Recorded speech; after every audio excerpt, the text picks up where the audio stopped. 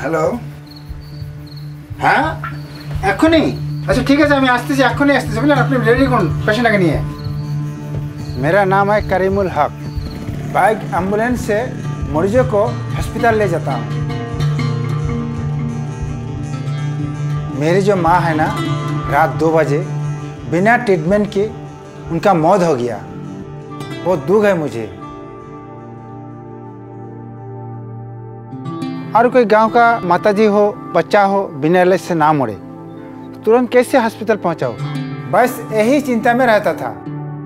तब एक दिन चाय बागान में एक आदमी काम करते करते गिर गया। मैंने तुरंत मोटरसाइकिल निकाल वो दिन से मेरे दिमाग खुल गया ये छोटे से एक मोटरसाइकिल एंबुलेंस का काम कर सकता है।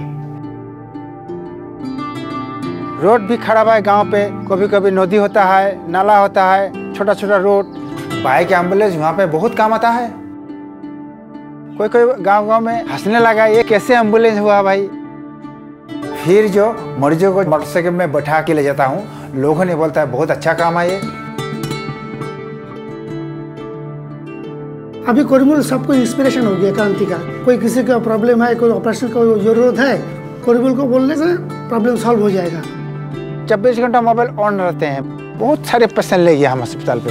तीन हज़ार से ऊपर ले गया। बुढ़ा से तब बच्चा तो कम से कम दस पंद्रह गाँव का आदमी को ले जाता है हम। कोई विपद में पड़ने से दौड़ के चला आता है हम लोग को बहुत उपकार होता है। इस एरिया के लिए कम्युनिटी तो भगवान समान है। तो जान बचाए हमको बोलता है कि तुम भगवान है नहीं भगवान हम नहीं भगवान दूसरा है लेकिन हम इंसान है।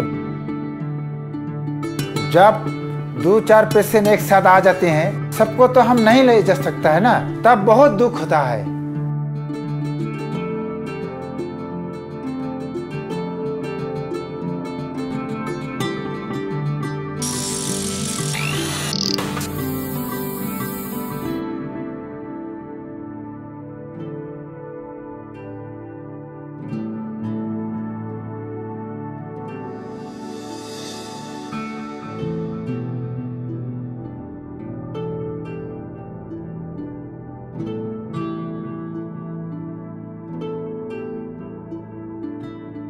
ये तो मेरे अभी न सोचे माँ चलाया मेरे।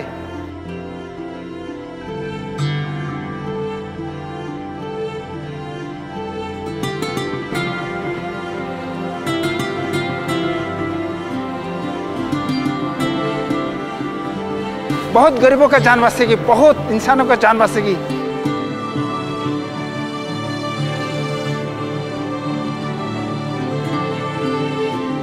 हम जब तो मेरे जान है, रहेगा एक एक ज़िंदगी हम बचा दूँगा। जो अपने मज़बूत इरादों से कुछ बड़ा कर जाते हैं, हर रोज हमें गर्व का एहसास कराते हैं। वही लोग इनविंसिबल इंडियंस कहलाते हैं। आईएनएस विक्रांत के फौलाद से बना वी ऐसे लोगों को सल्यूट करता है और आपसे अपील करता है कि इनकी कहानियों को शेयर करें। आपके आसपास भी ऐसे इनविंसिबल इंडियंस हों तो हमें बताएँ। हम उनकी कहानियाँ देश के कोने कोने तक पहुंचाएँगे।